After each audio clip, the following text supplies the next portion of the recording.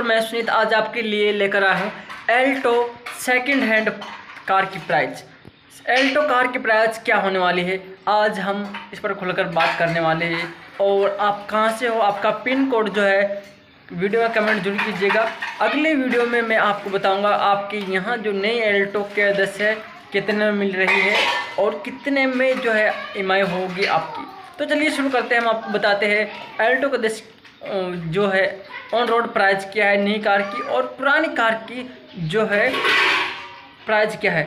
अब अगर आप चैनल पर नए हैं तो चैनल को सब्सक्राइब कीजिएगा और वीडियो को लाइक कीजिएगा।